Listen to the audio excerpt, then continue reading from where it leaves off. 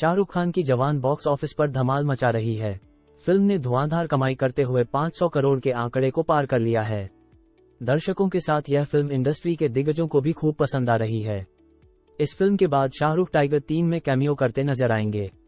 Film में Salman Khan lead role में हैं। ऐसे में आज हम आपको दोनों से जुड़ा किस्सा बताने जा रहे हैं। बात फ़िल्म करण अर्जुन के समय की जब दोनों सितारे एक साथ फ़िल्म में काम कर रहे थे।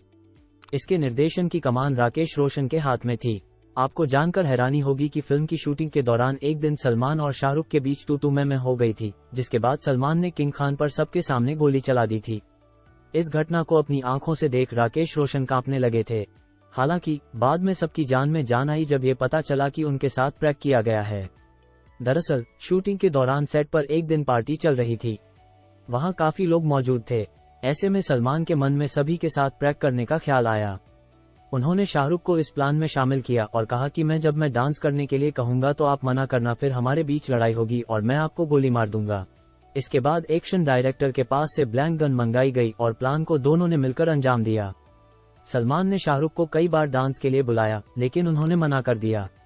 इसके बाद दोनों के बीच बहस हुई और सलमान ने उन्होंने शूट कर दिया, जिससे वो नीचे गिर गए।